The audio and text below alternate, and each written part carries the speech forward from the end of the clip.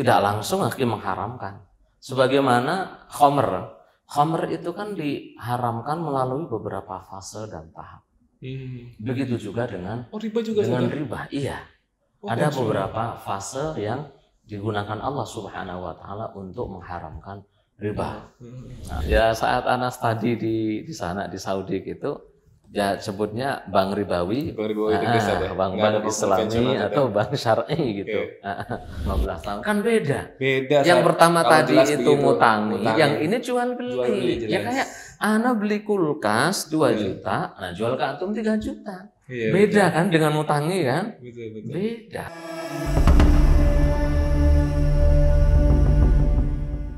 Bismillah, Assalamualaikum warahmatullahi wabarakatuh. Waalaikumsalam warahmatullahi wabarakatuh. Alhamdulillahirrabbilalamin Wassalatu wassalamu ala nabiyina Muhammad amma ba'd Alhamdulillah segala puji dan syukur senantiasa kita panjatkan kehadirat Allah Subhanahu wa taala. Salawat serta salam pada juga Nabi besar Muhammad sallallahu alaihi wasallam. Sahabat Al-Tartil yang senantiasa dimuliakan oleh Allah Subhanahu wa taala, selamat datang kembali dalam program podcast konsultasi syariah bersama Al Ustaz Muhammad Mukhazin LC MA Hafidahullah. Kaifal hal Ustaz? Alhamdulillah. Sehat, Ustaz? Antum sehat, Akhi? Alhamdulillah. Kaifal umur Ustaz? keluarga sehat. Alhamdulillah. Alhamdulillah. Alhamdulillah. Ahlan wasalam. Ahlan wasalam semua sahabat Tartil. Ahlan wasalam semuanya. Pada hari ini kita akan mengangkat sebuah tema, tentunya eh, bersumber dari pertanyaan-pertanyaan yang hadir dari sahabat El Tartil semua. Maka bagi seluruh sahabat El Tartil yang memiliki masalah atau ingin mengkonsultasi- mengkonsultasikan persoalannya, silahkan bisa mengisi link yang berada di bawah atau dalam kolom deskripsi dari YouTube El Tartil TV. Tapi Ustaz, kita mulai masuk saat dalam tema yang sekarang ini semakin luas, Ustaz. Dan memang bahasannya ini tulus zaman bahasanya seperti itu, Ustaz yaitu tentang transaksi. Nah, eh, sebagaimana kita ketahui, Ustaz, da- jadi transaksi keuangan atau bisnis dari zaman Rasulullah Shallallahu Alaihi Wasallam sampai dengan sekarang kan begitu luar biasa perkembangannya, Ustaz. ya. Iya, iya. Hmm. Bicaralah 5 atau 10 tahun ke belakang, Ustaz. Gimana dulu kita itu bisa jual secara pribadi online, Ustaz. Hmm. Berkembang menjadi istilah pasar online, Ustaz. Ada e-commerce, Iya, macam. Bahkan sekarang dompet pun online, Ustaz. Iya, iya. Yang menarik, Zat, yang bahasannya selalu tetap adalah masalah bunga, Zat. Atau yang dalam Hmm. Islam itu, kalau saya tidak salah, dikenal sebagai riba, Zat. Iya, iya. Boleh, Zat? Mungkin gimana, sih, Zat? Eh, riba prakteknya pada masa Rasulullah SAW saat itu, Zat. Monggo, Zat. Ya bismillah, alhamdulillah, salatu wassalamu ala rasulillah wa ala alihi wa ashabihi wa man wa ba'du Sahabat Entartil semuanya, hafizakumullah jami'an wa iyana jami'an Alhamdulillah Ya terkait dengan riba pada zaman baginda Nabi Shallallahu Alaihi Wasallam memang sudah ada akhir. Para ulama membagi secara masyurnya ada riba fadl, ada riba nasiah. Riba fadl itu maksudnya seperti antum ngutangnya nih, Hmm. ngutangi udah zaman dulu mungkin dinar sama dirham gitu ya Hmm. anggap 100 dinar Hmm. tapi baliknya lebih baliknya lebih lebih dari 100 dinar Hmm. nah itu ada tambahan disebut fadl Nah, sedangkan nasiah nasiah itu ibaratnya ya awalnya ngutangi nggak nggak pakai ada tambah tambahannya tapi ketika telat bayar Hmm. oke tak tambahin waktu tapi tambah ada ada tambahannya Oh, Nah, ada tambahannya. Itu disebut riba, riba nasiah. Jadi dua hal ini sudah ada masyhur zaman zaman baginda Nabi Shallallahu Alaihi Wasallam sampai ayat Al-Quran ini saking mendarah dagingnya riba pada masyarakat jahiliyah tidak langsung hakim mengharamkan. Sebagaimana khomer, khomer itu kan diharamkan melalui beberapa fase dan tahap. Hmm. Begitu juga dengan Oh, riba juga, dengan ya? riba. Iya. Oh, Ada beberapa fase yang digunakan Allah Subhanahu wa taala untuk mengharamkan riba. Hmm. Nah, yang kalian ribakan itu nggak berkembang di sisi Allah Subhanahu wa taala. Hmm. Terus Allah Subhanahu wa taala juga menceritakan bagaimana riba itu sudah dilarang di masa Bani Israel. Wa akhdhihimur riba wa qad anhu. Mereka mengambil riba padahal riba itu dilarang oleh Allah untuk Bani Israel. Hmm. Nah, kemudian kita temukan akhirnya Allah Subhanahu wa taala juga ini sebelum masa akhir. Ya ayyuhalladzina amanu la ta'kulur riba adhafan mudha'afah. Hai orang-orang yang beriman, jangan kalian makan riba dengan berlipat-lipat ganda. Jadi kan seolah-olah kalau kalau cuma sedikit itu masih boleh gitu ya. Gitu ya. Iya. Lalu akhirnya di surat Al-Baqarah baru datang pengharamannya secara total. Wadaru ma baqiya minar riba. Tinggalkan semua jenis riba. Saking mengakar dan mendarah dagingnya riba pada masyarakat jahiliyah. Hmm. Bahkan di awal di mereka itu juga nggak terima gitu. Kenapa sih riba kok diharamkan? Hmm. Kan ya riba itu seperti jual beli. Dzalika bi'annahum qalu innamal bai'u mithlur riba. Kata mereka, jual beli itu sama dengan riba. Hmm. Tapi oleh Allah Subhanahu wa taala oleh syariat ini enggak dibedakan. Riba ya riba, jual beli ya jual beli. Jual beli itu timbal baliknya jelas kan. Kalau riba tambahan duit itu berdasarkan apa? Apa yang di yang di, di, didasarkan apa gitu. Hmm. Dia kok dapat tambahan dari mana? Kalau jual beli kan jelas jual sesuatu. Jual barang, jual jasa, jadinya kan jual beli gitu. Hmm. Nah, kalau riba kok ada tambahannya, ini apa? Fungsinya, oh, da- dasarnya dari mana gitu. Oke, ha-ha. Makanya dibedakan wa ahallallahu al-bai'a wa harrama riba Allah menghalalkan jual beli wa harrama riba Kalau riba diharamkan gitu. Jadi memang sudah mendarah daging, mengakar di sana di masyarakat jahiliyah. Namun alhamdulillah dengan rahmat Allah Subhanahu wa taala riba akhirnya diharamkan. Oh, masya Allah menarik Sat ya. Saya pikir itu karena dahulu kala, terutama yang kita spesifik bahas di masa jahiliyah itu kan transaksi jual beli masih sangat sederhana. Sekarang bahasanya tradisional lah, gitu Sat. Ya, mungkin Justru riba itu mengakar Sat. mengakar. Subhanallah. Artinya mereka pun berjuang sebagaimana kita berjuang untuk meninggalkan riba. Iya betul. Oh, masya Allah. Masya Dianggap hal yang lumrah gitu. Allah. Dia langsung lumrah Sat. ya. Hal yang lumrah. Saking sulitnya sampai butuh beberapa fase untuk mengharamkan riba. Dan pakai fase luar biasa, luar Iya. biasa. Nah, Sat, ini Sat, berarti ada kesamaan memang. Beratnya meninggalkan riba di masa jahiliyah dulu sebelum Islam datang, kemudian Islam mengharamkan dengan bertahap sama dengan di masa ini, Sat. Di mana justru riba mulai menjamur lagi atau mungkin sangat kuat lah, Sat. Terutama nih, di persoalan yang menyangkut kebutuhan pokok, Sat. Ya cuma kalau masa kini ya, Ki, zaman sekarang sudah tidak pakai pentahapan kan, Ki. Iya. Jadi tamatis itu, syariah, ya, Iya. tamatis syariah di ahdin Nabi Sallallahu Alaihi Wasallam. Zaman Rasulullah SAW saat itu sudah sempurna. Sebelum beliau wafat itu syariat sudah sempurna. Al yauma akmaltu lakum dinakum wa atmamtu alaikum ni'mati wa raditu lakumul Islam madina. Itu sudah sudah sempurna gitu. Jadi kalau sekarang nah kita nganu aja lah. Saking merebaknya riba di masyarakat, kita buat pengharamannya juga pakai fase-fase lagi udah kagak bisa. Perlu disimak sahabat Natartil ya. Jadi udah selesai. proses tadi nggak bisa langsung Udah nggak kita bilang bisa. sekarang kita butuh proses udah, gitu. ya. bisa, udah Nggak selesai bisa. ya selesai. Dari- dari- udah- udah- Jadi kalau sekarang kita bukan butuh proses, tapi butuh solusi. butuh solusi. Al-halul islami gitu. Apa solusi-solusi Islam untuk menghindari riba atau keluar dari jeratan riba itu Jeratan apa? Itu sekarang yang kita bahas. Iya iya iya. Oke berarti Iya. nggak ada ya istilah kita habis itu membahasakan diri kita sedang bertahap keluar dari riba saja. Iya nggak ada. Nah ini saat balik lagi ke Nah. bahasan tadi saat ada pertanyaan dari sahabat El Tartil. Hmm. Gimana saat kalau berkaitan dengan kebutuhan pokok saat Mm-mm. rumah saat?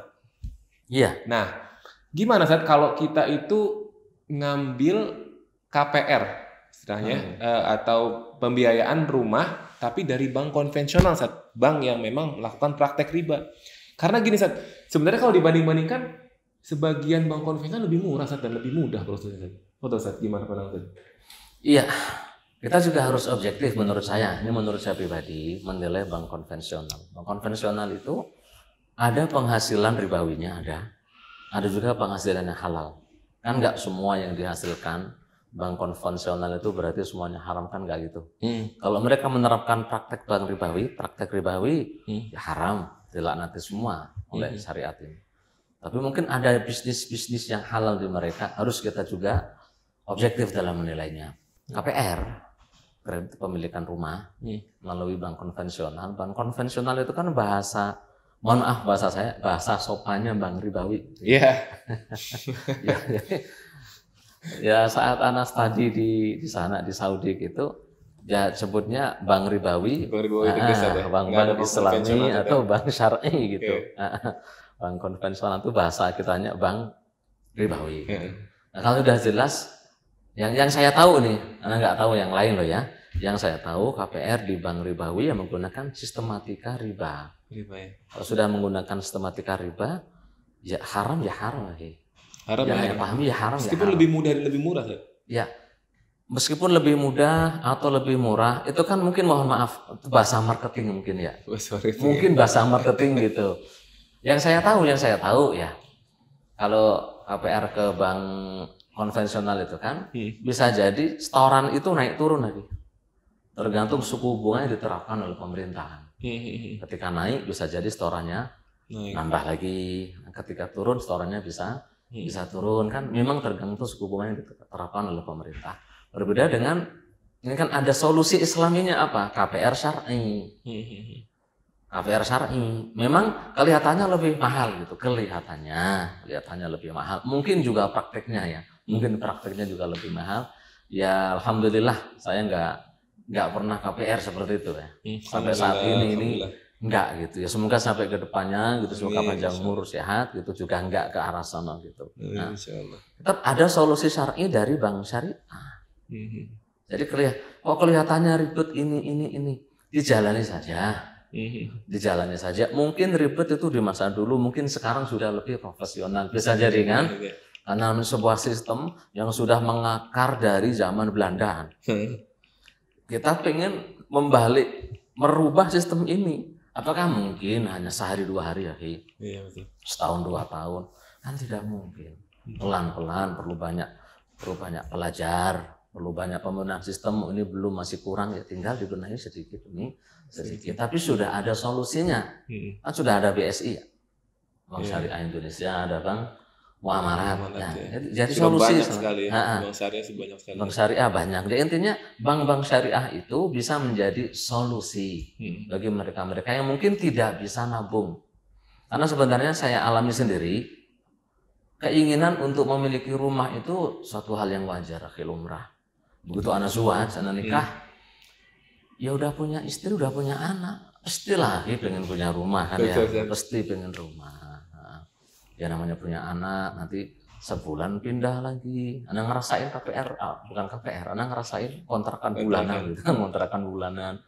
Ya berapa bulan harus pindah, nanti kontrakan tahunan, tiap tahun harus Pindah. bayar lagi, Bayar lagi. mikir bayar lagi. Kan kadang mikir daripada kita bayar kontrakan ke orang, kenapa nggak KPR aja gitu? Hmm. Nah, kenapa nggak KPR aja gitu? Nah itu Ustaz. cobaan Ya. Ya, ya namanya ribawi ya ribawi gitu aja kayak gitu. Cuma mungkin yang bisa menjadi apa? Yang jadi solusinya gini. Kalau teman-teman sahabat El Tartil ini mungkin mohon maaf nih apa dari kelas-kelas yang pas-pasan gitu, kelas-kelas pas-pasan menjadi solusi itu adalah cari KPR meskipun konvensional tapi yang bersubsidi. Oh, itu kode mentok Ustaz. Iya, kalau sudah mentok gitu ya, Eh. nah, ngajukan ke syariah mungkin nggak diterima aplikasinya apa dan sebagainya mungkin. Ya. Seandainya ada KPR bersubsidi dari pemerintah, itu biasanya bayarnya tetap gitu. Bayar tetap. Nah, jadi meskipun masih ada subhatnya gitu ya, masih Masih ada subhatnya. subhatnya, tapi insya Allah kelihatan, kelihatan bahwa yang beli di subsidi itu kan kelas yang pas-pasan akhirnya. Rumahnya juga ukuran pas-pasan, tanahnya juga pas-pasan. Hmm. Ya, semoga bagian dari darurat. Semoga, Amin. semoga bagian dari darurat. Iya, iya, Iya, iya. iya. Tapi bisa penonton.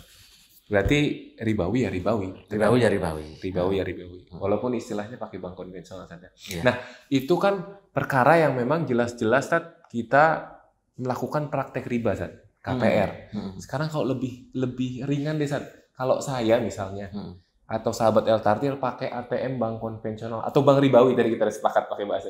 Itu gimana Hmm.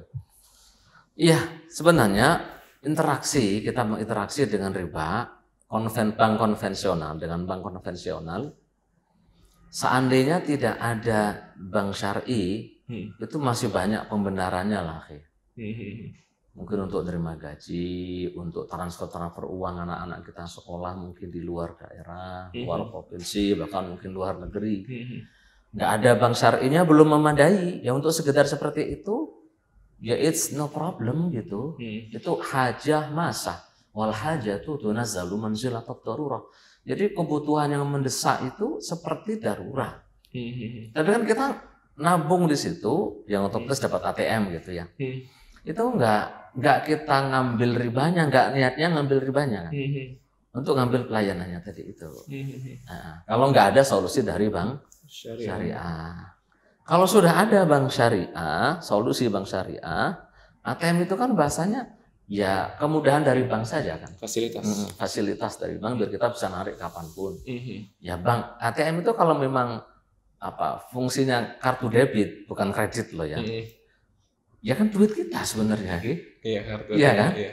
Untuk mau bank konvensional atau bank syari, kalau itu ATM memang duit kita, Hmm. kita belanja dengan duit kita kan sebenarnya. Iya. Iya. Hmm. Itu di situ tuh tidak masalah. Yang bermasalah kan nanti kalau kartu kredit, kan kita ngutang, Hmm. iya kan. Mereka yang menutupi biaya kita dulu kita pakai pakai pakai pakai belanja baru bayar ke mereka. Betul. Nah, cuma mereka yang ngambil sesuatu dari kita. Nah, itu nanti bermasalah. Kullu qarudin jarra naf'an fahuwa riba. Hmm. Ini hadis dhaif. Penelitian saya hadis dhaif, tapi maknanya sahih. Wa ajma' alaihi ulama. Ini hadis dhaif, maknanya sahih dan seluruh ulama ijma bahwa semua utangan yang ada tambahannya dipersyaratkan di muka Hmm. jadinya riba. Hmm. Heeh. Tapi tadi saya yang saya garis bawahi kalau fasilitas tersebut tidak ada di bank syariah gitu saja. Ya, Tapi kalau ada berarti hukumnya kalau ada ya pindahlah hijrahlah ke bank syariah. Heeh, hijrah karena sudah ada solusi. sudah solusi saja. Darurat itu kan nggak ada solusi. Iya betul betul. Kalau ada solusi, kenapa enggak? Hmm. Why not gitu? Kalau sudah Hmm. ada solusinya. Mm-mm. Iya iya iya Sat. Mm-mm. Tapi Sat yang unik Sat, kalau kita bicara itu Sat ya. Tadi kan kita bicara dari hal yang pokok. Kita Mm. bicara ke fasilitas. Nah, ketika memang sudah ada solusi dari bank syariah Sat, tapi Hmm. masih gimana Sat ya? Kadang-kadang itu dalam pikiran atau mungkin kalau pada prakteknya itu kita merasakan Sat kalau ternyata bank syariah tuh bank sama bank konvensional tuh sama aja Sat. Ya, ya, ya, ya. Nah. ya. Beberapa waktu yang lalu, konsepnya gitulah Nah. kurang lebih yang berbeda cuma paling akadnya Sat. Contohnya kalau misalnya tadi KPR Sat, kan Hmm. sama-sama nyicil ada tambahan. Kan sesederhana itu. Tapi yang satu Hmm. akadnya ribawi, yang satu akadnya murabah kalau saya tidak salah gitu. Sat. Mm-mm. Tapi prakteknya kan sama aja Sat. Gimana kita memandang itu? Iya, beberapa waktu yang lalu anak ikut standarisasi dari MUI, MUI Hmm. Pusat di Jakarta. Ada satu materi dari dari para asatidz MUI itu yang menyinggung hal ini gitu. Jadi banyak wacana dari bahkan para duat. Para duat yang mendoktrin masyarakat bahwa bank syariah itu ngakal-ngakali gitu ngakal-ngakali sesuatu hal yang sudah haram.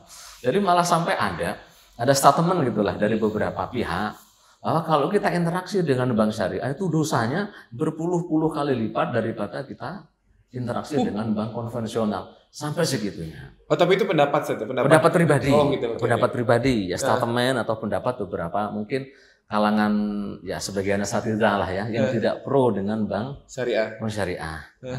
Ya manusia punya hak asasi berbicara, para asatid juga punya pendapatnya masing-masing. Saya juga boleh berbicara kan. Negara demokrasi ya. Iya.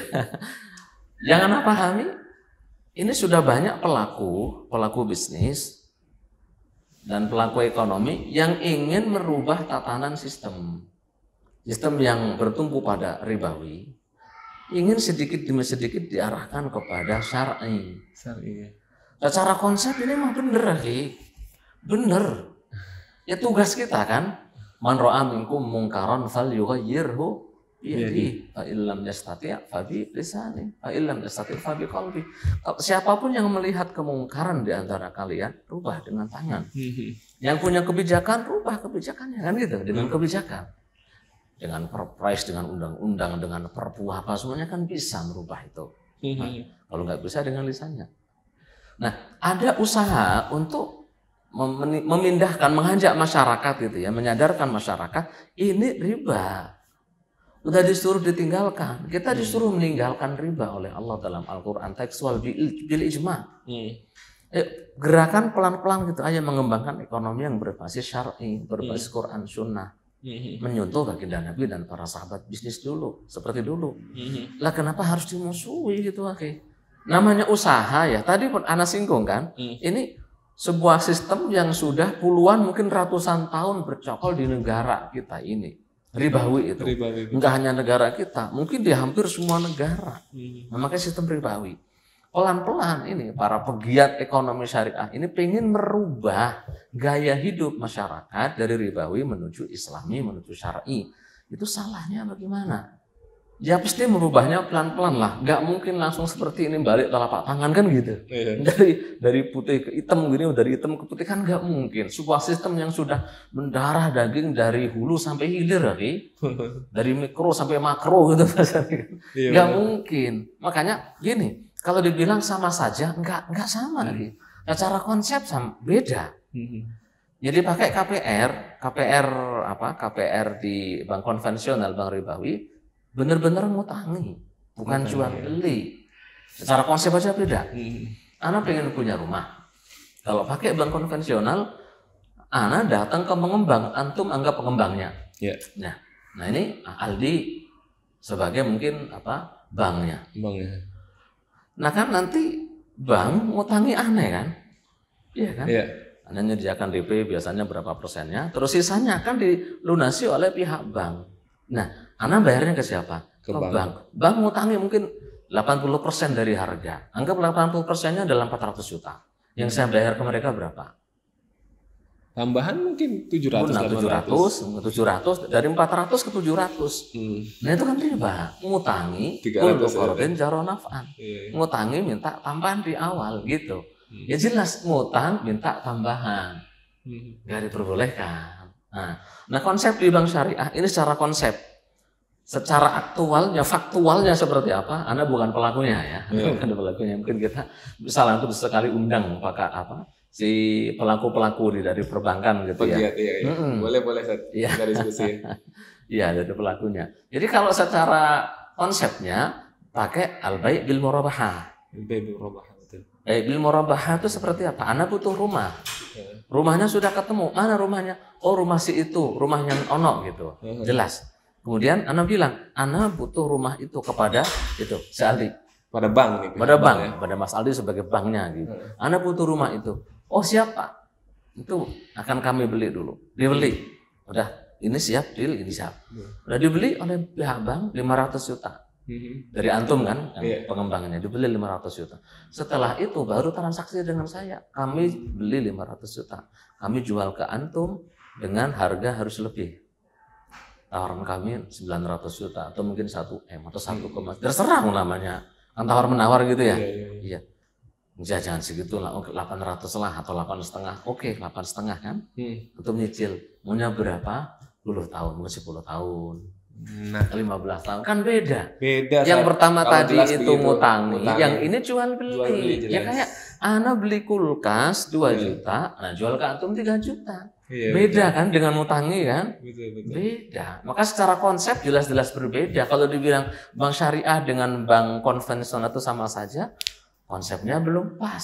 Iya, iya. Belum paham konsepnya berarti. Perkara di di faktual aktualnya bagaimana, ya itu Anda nggak tahu loh ya. Iya, Nggak iya, tahu iya. seperti apa kan Anda belum pernah belum Beda, pernah kecil di situ. Kalau simak penjelasan tadi jelas beda, Sat. Beda Iya. sekali. Yang satu jelas-jelas banget ngutangin, Mm-mm. yang satu jelas-jelas ada jual belinya tadi ya. Mm-mm. Oke, oke, oke. Ya mungkin sih sekarang yang jadi permasalahan kadang-kadang nih ada menghindari pajak kanan kiri. Mhm. Kan kita nih kalau beli barang yang besar kena pajak, Pajak ya. jual barang besar juga Kena pajak. Biasanya kan di situ. Heeh. Ini seandainya Anda nggak tahu udah ada aturannya atau belum. Seandainya ada ada aturan, ada regulasi dari pemerintah yang mendukung ekonomi syariah itu selayaknya kalau yang mau jual beli bil murabahah itu pajaknya satu sa- sekali saja gitu. Tidak dua akad Kita kita. tidak dua.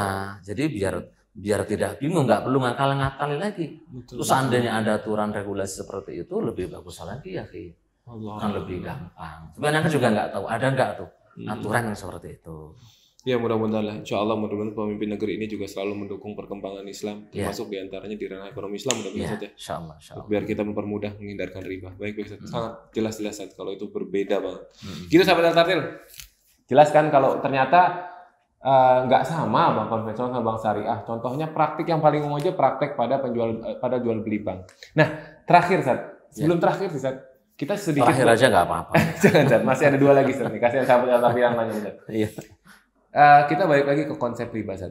Hmm. Eh, saya jadi penasaran Sat, semakin dalam kita membahas, semakin saya berpikir Sat. Hmm. Eh, kalau dipikir-pikir Sat, kenapa sih riba diharamkan Sat? Soalnya begini Sat, riba pun sama jual beli Sat, bukan bukan sorry maaf, statement saya salah. Riba itu apa ya? Ada kemiripan gitu Ada mungkin. kemiripan, Ada betul saat itu bahasa yang paling tepat. Karena gini, kalau toh saya misalnya meminjamkan kepada Fulan 500 juta tahun ini, Sat. Mm-mm. kemudian si Fulan akan akan akan eh, bayar dengan cicil ataupun cash 10 tahun mendatang, Sat. Kan Mm-mm. beda Sat, 100 juta saya di tahun ini dengan 100 juta saya di tahun 2033 10 tahun kemudian Sat. Turun nilainya Sat. Rugi dong saya minjemin Sat. Gimana Sat soal itu Sat? Iya iya. Jadi gini, di syariat kita ada jenis banyak jenis akad, ada beberapa jenis akad. Transaksi itu ada jenis-jenisnya. Ada transaksi tijari, ada transaksi tabarru'an. Tabarru'i. Tabarru itu transaksi untuk menunjukkan kasih sayang, membantu sesama. Sedangkan transaksi yang sifatnya tijari itu bisnis. Kita umat muslim itu disuruh membedakan antara transaksi yang tijari bisnis dan transaksi yang tabarru'ai. Transaksi tabarru itu niat kita mencari pahala Tuhan. Mencari akhirat, pahala Bantuan. dari Allah Subhanahu wa taala. Bantu. Bantu ya. Dalam syariat kita, kalau bantu yang bantu. Jangan minta timbal balik dengan bantuan tadi. Ngutangi, antum ngutangi anak dua kali, itu ada hadis yang menyebutkan yang ngutangi dua kali itu seperti sedekah sekali ya Ki. Masya Allah. Antum ngutangi anak duit satu apa sejuta gitu. Ngutangi dua kali. Udah ngut, anak ngutang sejuta, udah anak bayar lagi. Antum ngutangi lagi ke anak sejuta. Tak balikin lagi. Ngutang. Balik semua tuh sejuta ke antum. Dua juta balik semua. Itu seolah-olah antum sedekah ke anak seribu. Masya Allah. Iya. Ya meskipun hadisnya fi isnadihi maqal gitu, takallamun fihi lah, masih diperselisihkan. Tapi emang ada pahalanya. Mm-mm. Orang ngutang itu pun istilahnya kalaupun niat kita ngutang itu nggak untuk lari, nggak seperti orang yang hobi ngutang kabur saat bayar, nggak seperti itu ya. Ada. Nah kalau emang niatnya itu untuk membayar ngutang, bakal di, dibantu oleh Allah Subhanahu Wa Taala. Iya, jadi memang utang piutang itu akad untuk me- menolong. Menolong saja. Mm-mm. Akad menolong berarti tidak boleh mencari untung di situ. Itu utang piutang. Antum kalau pengen cari untung, jangan akad tolong menolong yang dipakai. Iya. Pakailah akad yang tijari, Tijari. akad yang bisnis. Iya, iya, iya. Nah di sinilah yang kurang dipahami. Kalau antum nanya kenapa sih riba diharamkan? Ya Allah itu prinsipnya kan la yus'alu amma yaf'al wa hum yus'alun. Allah itu nggak perlu dipertanyakan kenapa kok ini ini, kenapa kok ini itu gitu. Ini sudah haknya Allah Subhanahu wa taala menjadi Tuhan kita. Bentuk kita kepasrahan ya kalau diperintah ya dilaksanakan, kalau dilarang ya ditinggalkan. Dengarkan. Ada beberapa hukum yang mungkin sifatnya bisa kita tahu ketahui ilatnya, sebab-sebabnya. Ada banyak hukum yang kita hanya mungkin meraba- meraba-raba. Apa ilatnya ini diharamkan? Apa ilatnya ini di, diwajibkan? Gitu. Nah, Iya, iya. dalam masalah riba ini mungkin akan ada yang berpendapat itu kayak ta'abudi, nggak bisa kita tahu. Kenapa ya? Ya Allah alam kalau Hmm. tanya kenapa pastinya gitu. Yang jelas Allah berfirman wa ahallallahu al-bai'a wa harramar riba. Kalau mau dicari hikmahnya, hikmah itu kan sebuah hal baik di balik pensyariatan hukum tertentu. Itu namanya hikmah. Itu kita bisa lihat. Transaksi yang ribawi itu akhi biasanya merugikan salah satu pihak. Contohnya, antum mau investasi, antum pelaku bank punya duit banyak, anak ini pengusaha, jam duit, minta minta suntikan dana, suntikan modal. Oke, suntik modal. Berapa? 1 M. Untuk anak puter pakai usaha. Dalam syari itu namanya mudorobah, kerjasama. Nah, investasi. Hmm. Investasi itu anak harus punya untung dulu. Untung itu nanti yang kita bagi. Antum selaku sahibul mal, Hmm. anak yang mudharibnya, hanya pelaku peng- pengusahanya. Kalau anak punya untung, baru dibagi. Hmm. Itu adilnya kan gitu. Hmm. Tapi kalau pakai sistem ribawi, enggak. Antum mau untung atau tidak, yang penting ini duit 1 M dalam kalkulasi kami Hmm. per bulan harus kembali sekian, sekian, sekian selama berapa tahun. Ujung-ujungnya itu bukan investasi, tapi ngutangi dan dengan tambahan. 1 M itu nanti Hmm. kan kembali ke mungkin 1, sekian. Hmm. Karena itu ngutangi kan investasi. Hmm. Kalau Kalau yang- mudharabah di kita kalau enggak. Kalau yang mudorobat Ustaz, yang sesuai syariah itu kalau untung dibagi, kalau rugi Ya juga enggak. sama-sama enggak ada yang dibagi. Enggak dibagi. Oh. Nah, makanya butuh sebelum menjalankan sistem ekonomi syariah butuh perilaku perilaku masyarakat untuk berperilaku sesuai syariat dulu. Sesuai syariat ya. Heeh. Iya iya iya. Yang yang paling mungkin untuk dijalankan sem- sementara waktu ini ya menurut anak gitu sependek pengamatan anak memang paling jual beli bil murabahah al baik bil murabahah. Kalau di Saudi itu sudah banyak berkembang ya masa saya di sana dari tahun lalu ke belakangnya itu sudah ada akdut taurik, ada pembiayaan yang sifatnya akdut taurik. Nah, Apa itu nantilah kita bahas lagi ya. Oke, oke, Lama siap, nanti siap. antum. Siap siap. Memang memang perlu nih ada satu tema khusus mungkin yang bahas Hmm. mengenai akad-akad syariah tadi Ustaz. Ustaz udah singgung tadi murabahah, ada juga mudorobah ya. Menarik Hmm. sebenarnya. Sebenarnya ada semua solusinya Ustaz ya. Ada solusinya. Ada sebenarnya. Cuma kadang-kadang solusi ini tidak bisa diterapkan Hmm. oleh masyarakat yang perilakunya belum islami. akad mudorobah tadi gitu. Mm-mm. Menurut Bapak itu belum bisa diterapkan. Tapi kalau murabahah mungkin kan Ustaz ya? memungkinkan. Hmm. Ini pun di sini biasanya dengan ketat. Antum kalau mengajukan mengajukan apa untuk murabahah dengan bank syariah, biasanya harus ada agunannya juga. Gak mau Iya. kabur juga kan gitu. Iya iya iya. iya. Heeh, Sebenarnya-. Agak sulit berarti di bank syariah karena kitanya juga ya mungkin. Hmm? Wallahu a'lam, wallahu a'lam. Tapi Iya, iya, ala iya. kulli hal garis besarnya memang pasti ada solusinya. Ada Dalam solusinya. Islam itu pasti ada solusinya ya. Iya. Kadang ya kalau nggak kita ketahui mungkin memang sistemnya saja yang belum mendukung gitu. Iya, mungkin masyarakatnya juga belum mendukung, kitanya belum siap untuk Iya, solusi tersebut. Jazakallah khair Ustaz, jazakallah khair. Baik, sebagai penutup Ustaz. Hmm. Kalau kita sudah terlanjur atau kadung nyemplung di riba Ustaz. Hmm. Gimana Ustaz? Eh, apa namanya? Prinsip awalnya fa'il lam taf'alu fa'danu biharbim minallahi wa rasulih. Kalau kalian tidak tinggalkan, izinkan diperangi Allah, diperangi Rasulullah Shallallahu Alaihi Wasallam. Apa nggak takut dilaknati terus tiap hari kan? Alhamdulillah. Waliyadzubillah kan dilaknati, Alhamdulillah. dilaknati, dilaknati. Jadi prinsipnya ditinggalkan, Tinggalkan ya. ditinggalkan. Cari solusi. Bagaimana antum sudah kadung KPR? Bisa nggak dikonversikan gitu ya? Iya. Setahu saya sih bisa ya dari Iya. bahasa sebagian masyarakat itu bisa dikonversikan dari konvensional ke bank yang Syariah tadi. syariah itu Bisa, bisa. Ya. Dan ya banyak kan bank syariah syariah sekarang itu saya yakin juga sangat sangat mendukung gitu Hmm. membuka diri. Ya kita kalaupun mahal dikit dah nggak apa-apa. Selisih dilaknat, berapa juta berapa puluh juta. Ustaz. Yang penting secara akad sudah sudah kita usahakan benar. Walaupun tidak 100% minimal sudah kita usahakan benar gitu loh jadi. Hmm. Kalau kita itu malah malah nggak usah ke syariah konvensional aja, sono lebih dosanya lebih gede. Jangan gitulah gitu. Jangan gitu. Udah urusan dosa ada mau pahala biarkan urusan Allah Subhanahu wa taala. Yang penting kita sudah berusaha menghindari riba dengan mendekatkan diri kepada solusi-solusi yang syar'i. Ya kalau belum terlanjur jangan ngikut. Ini pengalaman pribadi pribadi anak ya meskipun nggak gede-gede sih rumah gitu. Jadi bisa kok sebenarnya. Dulu anak juga sangat pengen lah kayak gitu ya. Teman-teman sudah pada KPR, saya juga pengen. Pengen udah nanya-nanya ke bank-bank syariah gitu kan. Nah, bank syariah. Cuma ujung-ujungnya lah kalau setiap bulan itu harus ada duit sekian itu kok bukan tipe saya. Tahu sendiri lah guru ngaji ya gitu kan bukan gitu ya. Ustadz cuma guru ngaji ini berapa sih penghasilannya? Jadi kalau harus tiap bulan keluar sekian sekian itu kok dipikir-pikir sulit musyawarah dengan keluarga juga nggak bagus lah. Jadi contoh masyarakat mungkin nggak bagus itu. Hmm. Akhirnya ya udahlah sedikit-sedikit lagi.